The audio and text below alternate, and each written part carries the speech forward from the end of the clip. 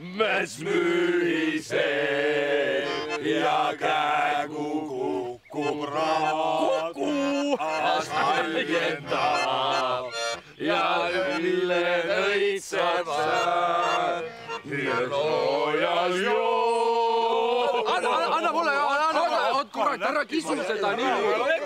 ma pean ka pärast omakord mängida saan. mina olen vanem vend, kurat, sina sitaratast tegid veel mähkmetesse kui mina. Laua taga pilli lõin. ei teinud sa kurat midagi ei löönud, sa olid kolmeaastase ja ulatad laua peal pilli kuule, mina, mina olen kõige vanem vend. mina olen kõige vanem öö, kojuse pillimeestest. isa pani mulle pillitabureti peale, aga pill, see on öö, jaanipäevaks minu oma. tea midagi. oota, ossa, ära vigurda siin, kui isa ütel, et Depo pill käib nelja venna vahel kordamööda käest kätte, siis nii ka on. õige, poisid? venna vahel. Janes, haara püsti. ei, ei, anna, haara püsti, pane ise talle. pane, pane. pane. kurat, juba läts ära, juba läts ära. Kurat küll. no venekesed, mida te tulite, tuleme ikka vennad edasi. jaanipäevaks see pill on minu oma. kord on kord. sina oled põllumees, sa oled voo vahel rööp ja sinul on mulgi hing.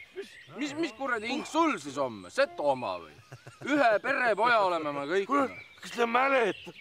ma olin umbes kolmeaastane, kui ma avastasin, et pill ühtepidi teeb ühte häält ja teistpidi teeb teist.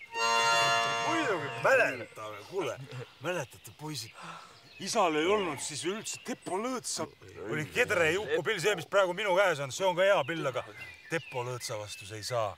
aga Kedral on ju ka vasest häälerabba, no teevad ju küland hääd helü. vanasti olid vasest, praegu omavad terasest.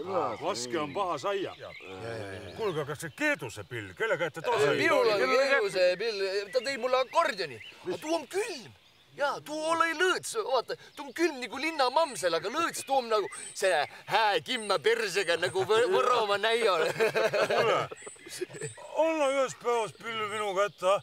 mul naisel läks pillimängu peale perse säändses mõnusas päevas. no venekene, hea küll või? ühtest